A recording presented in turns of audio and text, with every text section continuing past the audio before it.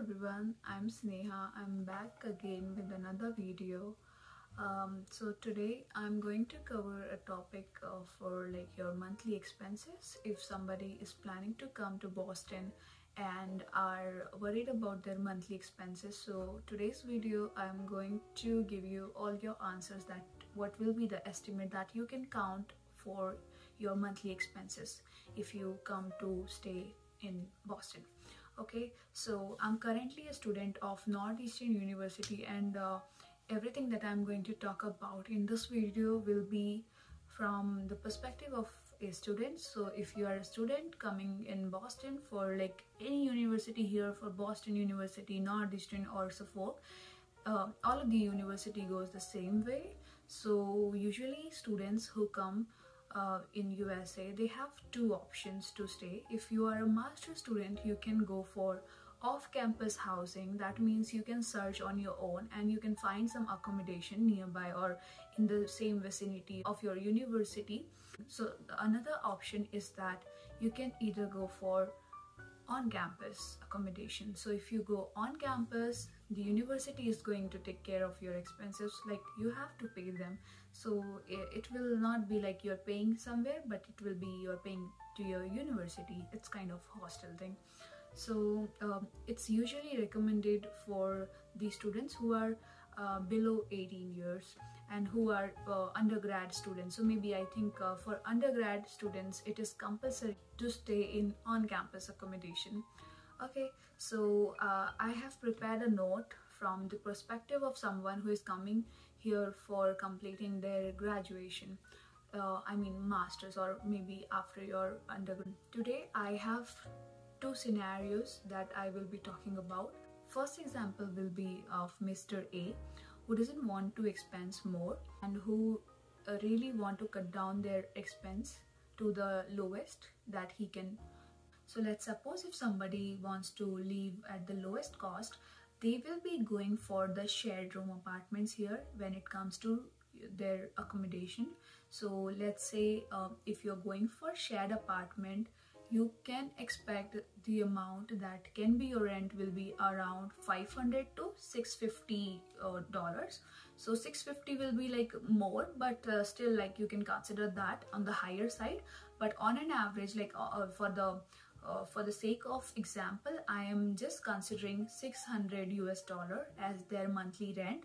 Although in some cases the person could also pay something lower than 500 so the scenario of boston is quite like uh, has become very strict. So uh, when it comes to your expenses because uh, boston is one of the most expensive city of usa so um, you cannot expect that you can afford a private room under this budget. So i am currently living with two more girls. So it's like we are three girls in a room. Although the room size is quite big but it is three girls. So it's not it's it, it may not be sometimes that you are sharing with only two people. It varies from cases to cases but i'm fortunate enough that i have found something under my budget and that is very close to university so i have no complaints in that terms so uh, let's say if you want to share with the two person like uh, it will be you and someone else. So you can estimately count that. You may pay somewhat 500 to 550 but on a higher side i'm considering 600 us dollars. Then uh, after your rent you you have to bear with the utility charges that is not included in your rent um, the only thing that can be included in your rent is the heater cost. So during the winter you require heater.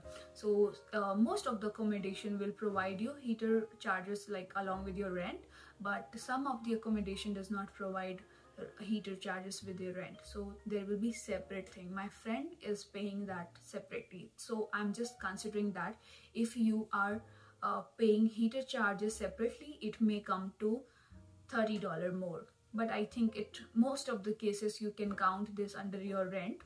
So uh, this can be added in your rent. Other than that we can write it as optional. Other than that your electric uh, electricity bill will come um, in shared right? So it will be max to max $10 monthly for a month and uh, then your water again same $10 gas will be same as $10 and then in some of the accommodation they charge you sewer fees.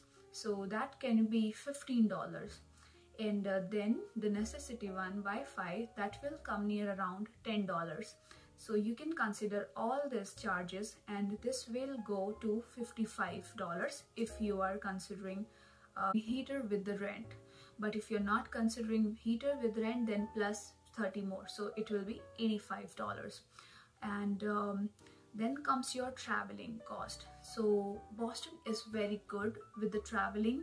Um, i'm not comparing this with india but i'm comparing the transportation with the usa if you come and see other states of usa you will probably not find this supportive uh, public transportation that we have in boston. And it is i i like believe me it's it's great. I love the transportation here but i'm from mumbai so my expectation is like uh, first it was not it didn't meet but uh, later on as i know that what is going on in other states so i believe that i'm fortunate that i'm in boston at least for transportation. So currently i have like my monthly expenses is zero for traveling. I will tell the trick in another like in some of the video because it is a long story so i don't want to go with that. But still you can consider if you are a person who pays for everything so maybe $150 will be your transportation cost that may come monthly.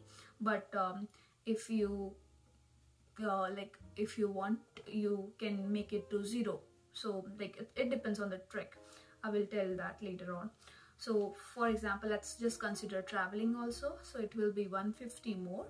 And uh, then the most interesting part like food of course. Um, so here I have divided this into three segments.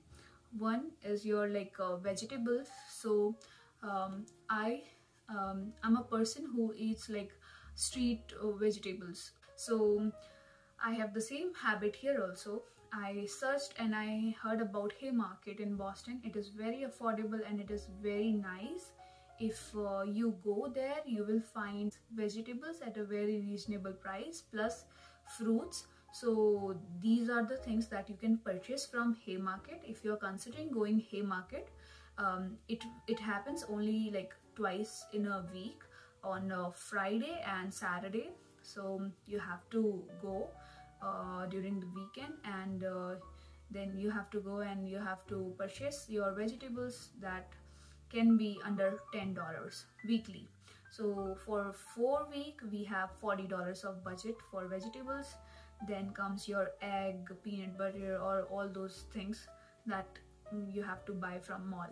So for those expenses i have uh, written down that $50 will be your extra expenses that you have to visit to mall okay for like egg or for your other things. Um, other things like jam sauce pasta or all those things. Yeah. So um, more $30 will be added on this because if you are non-vegetarian you will be buying chicken and everything. So that can be uh, done under $30 monthly if you're not eating that every day um, so I think $30 will be enough for non-vegetarians. And uh, then comes your roti rice and pulses. So if you are although these are the things that you don't purchase every every week. So if you are going to do it like if you purchase 20 lb bag that will last you for maybe three months or four months. So it's like sufficient but i have calculated that too so for roti uh, first thing i need to clear like um, for roti you can go for the traditional method atta one. But uh, if you like most of the students don't have time to cook and to go for that traditional way. I uh, do follow that like i make uh, roti from atta. I don't purchase the ready-made roti but we have another option of getting ready-made roti. So it's like uh, they will make the roti. You just have to fry it on the pan not the fry sorry. You just have to like um, warm it on the pan. So it's very easy to make. So if you are going for those roti you will be costed $10 for 30 rotis 30 30 so i think uh, maybe you will buy those rotis uh, twice a week. So that can be your cost. So i think for food your overall cost will be near around 150 dollars. So this 150 dollars will include your meat and all those non-veg and everything like on the higher side i've calculated this. So uh, so in total if we count all these expenses this will go to if you calculate all this figure it can be your 955 maximum. And i'm a person who handles like I, I handle my monthly expenses under 700 bucks. So it's like great for me. I do. Uh, but uh, one more thing i have like i would like to tell you guys about me. I am not at all a person who expenses like uh, like anything so i am a very conjuice type of person i don't expense at all. In india also my lifestyle was not that fancy so i would not go to the places where it requires money. No i'm not that kind of person. I'm just i save my money a lot. So if you want to save your money you may go for like you can you can find something which will be very uh, uh, affordable for you in terms of rent. Rent affects a lot. So rent uh, in renting you can find uh, utilities you cannot do anything. So it depends from building to building or from houses to houses. So uh, rent will minimize then your monthly expenses will minimize. And of course food. I am uh, like i don't uh, expense a lot on food also because i i'm not a foodie person at all. Like i just eat something to just survive. So i don't eat much so i think uh, like i eat much but i'm not a variety kind of person. So i am fine with eating like um, a vegetable. I don't eat leftover. That's not in my habit. But like i i am i can eat one veggie maybe three times a week. So i won't mind like changing the variety. So i'm not that person. That's why uh, my monthly expenses are like really really low. And uh, there are few people who also have like the same um, so you can handle this under 700 as well. If you like minimize your food expenses all these things i have calculated on the higher side that also need to be considered. But lo the lowest thing that you can go for is your 700 dollars monthly. So i think uh, yeah if you go for a very like for for affordable accommodation and uh, like if you shop from uh, from few selective places if you won't mind like going there and buying that thing.